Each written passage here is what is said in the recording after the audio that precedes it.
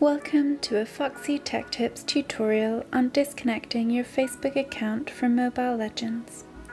If you find this tutorial helpful, please consider subscribing to my channel and liking the video. Tap your profile icon from the top left of the dashboard. Select Account from the left sidebar.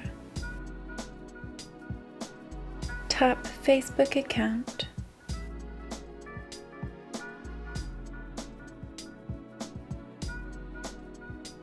Select Disconnect via the third-party account. You will need to enter your account ID to continue.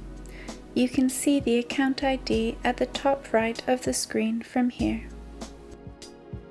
On this page, give a reason for disconnecting the account, and then on the next page, tap Agree.